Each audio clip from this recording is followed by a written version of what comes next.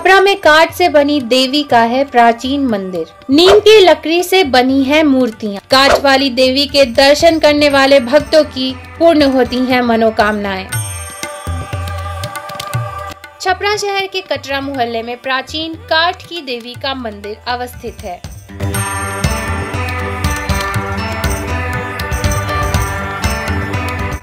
स्थानीय लोगों के अनुसार यहाँ माँ दुर्गा की प्रतिमा लगभग 300 वर्ष पूर्व स्थापित की गई थी।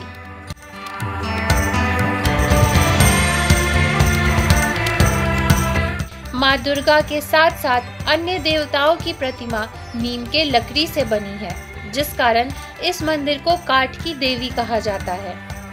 मंदिर की देखरेख करने वाली सुनीता देवी बताती हैं कि उनकी नानी लाखों देवी पूर्व में मंदिर की देखरेख करती थी। उनकी नानी ने उन्हें बताया था कि उनके पूर्वजों को स्वप्न आया कि लकड़ी की मूर्ति बनाई जाए, जिसके बाद मंदिर के ही परिसर में स्थित एक नीम के पेड़ की लकड़ी से मूर्तियों का निर्माण कराया गया और उसकी स्थापना की गई। उन्होंने बताया कि इतनी पुरानी होने के बाद भी लकड़ी आज भी जस की तस है। ये 300 साल वर्ष का पुराना मंदिर है काठवरी दुर्गा जी के नाम से प्रसिद्ध है। यहाँ बहुत पहले सुने हैं कि नीम का पेड़ था, बहुत पुराना। मेरी नानी जैसे बताती थी कि उसी पेड़ का उस सपना में दिखा, कोई बताया सपने में आके अपना, और उसी पेड़ का मतलब मूर्ति का निर्माण हुआ पूरी मूर्ति जितनी है ना, सारी काट के दुर्गा जी की मतलब बनी हुई है, जितनी मूर्ति है। पूरी काट के लकड़ी की है, नीम की लकड़ी की है। इसी समय से काट के दुर्गा जी प्रसिद्ध है। नानी के पहले के स्थापना है। मेरी नानी के जो भाई थे ना, वही मतलब अपने किए थे। और मेरी नानी को मतलब अपना फिर सौंप दिए अपना कि संभालिए, कीजिए अपना।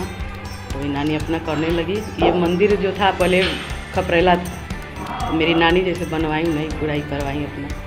पूरा टूटता था, गिर उड़ जाता था तो वही बनवाई अपना। मेरी मेरी नानी के जैसे नाम था लाखों देवी। उसके बाद अपना माँ संभालने लगी जब नानी जब डेट की तो में शक्ति इतना है कि आज तक कीड़ा उसमें पड़वे नहीं किया। नहीं तो कैसा कैसा लकड़ी घूम जाता है, ख़राब हो जाता है। लेकिन वो लकड़ी जस की तस वैसा ही है। हर साल नवरात्र में जैसे पूजा होता है, सब दुर्गा जी का वैसे ही भी होता है। कलश स्थापन सब अपना होता है पेंट उंट सब होता है अपना।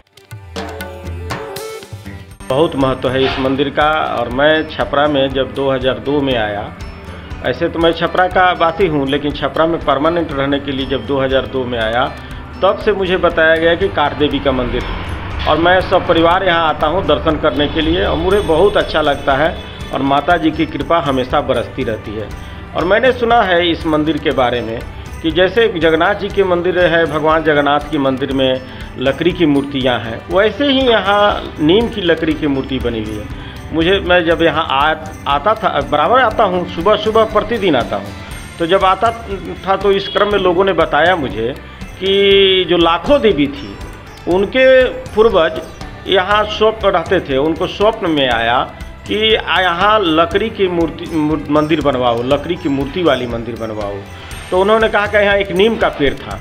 तो उन्होंने कहा कि लकड़ी की मूर्ति कैसे बनती है? तो बन जाएगा, कारीगर आ जाएगा। और भगवान की कृपा माता जी की कृपा, कोई कारीगर आया और कहा, जी यहाँ तो हम मूर्ति बनाएँगे। और वह मूर्ति बनाएँगे, सो लकड़ी की मूर्ति बनाएँगे। तो बनेगी, कैसे, कहाँ से लकड़ी आएगी? तो इसी नीम में से हम लकड़ी लेकर और मूर्ति बनाएँगे। और तब से ये मूर्ति बनी है और सब लोग, छपरा जिला के लोग जानते हैं कार्तिक की देवी जी का नाम। और काठ दे के देवी जी, लेकिन नहीं जानते जो काठ की मूर्ति ही है, इसमें लकड़ी की ही मूर्ति है। तो मैं समझता हूँ कि जैसे जगन्नाथ जी का, भगवान जगन्नाथ जी के का महत्व है, वैसे छपरा में काठ के देवी जी का महत्व है। चूँकि यहाँ भी लकड़ी, और ये लकड़ी बिल्कुल आप देखेंगे, एक ठो कहीं दो, ढाई, तीन सौ बरस की बात है, लेकिन लकड़ी में कहीं कुछ नहीं आया आज तक। छपरा जिला के लोगों को लिए यह धरोहर है। माता जी की कृपा यहाँ चौबीसों घंटा बरसती है। जो भावना लेकर आते हैं, उसकी भावना की पूर्ति अवश्य माता जी करती है। हर साल नवरात्रि के पूर्व मंदिर और मूर्तियों को रंगा जाता है। नवरात्र में इस मंदिर में विशेष पूजा अर्चना होती है श्रद्धालु दूर दूर से मंदिर में पूजन के लिए पहुँचते हैं भक्तों के अनुसार माता अपने हर भक्त की मनोकामनाओं को पूर्ण करती हैं।